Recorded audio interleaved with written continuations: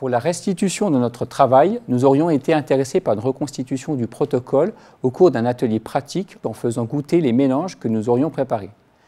Mais nous étions alors confrontés à deux écueils qui dénaturaient l'objet de notre recherche. D'une part, notre problématique comportait la dimension du sommeil. Or, nous ne pouvions pas faire dormir des personnes sur place durant plusieurs heures et ainsi leur faire goûter nos mélanges avant et après leur assoupissement. Et puis, si nous ne faisions passer qu'une première phase de test, nous aurions eu l'impression que notre cible était de faire deviner des goûts. Or, notre recherche portait sur le souvenir des goûts, qui sont deux mémoires différentes, l'une sémantique, l'autre perceptive. En effet, dans notre protocole, jamais nous ne demandions au goûteur de nous révéler ce qu'il pensait boire, mais plutôt de nous dire quel gobelet contenait une boisson qu'il pensait avoir bu la fois précédente. lequel des deux t'as reconnu de ce fait, la conférence sous forme de diaporama à commenter se révélait être la forme de restitution la plus pertinente. En plus, ceci rejoignait l'une des compétences que nous travaillons beaucoup avec mes élèves, à savoir l'expression orale, qu'il s'agisse d'une lecture à voix haute ou bien d'une expression libre. En effet, notre collège abrite une radio scolaire depuis une trentaine d'années. Et chaque matin, par exemple, mes élèves de l'ULIS animent un bulletin matinal de 5 minutes, en direct, où ils annoncent la météo locale et un éphéméride. Au départ de notre projet, je pensais bien proposer un feuilleton qui raconterait les progressives avancées de notre recherche. Or, nous devions éviter le biais qui résidait dans le fait que les goûteurs ne devaient pas connaître l'objet de notre enquête.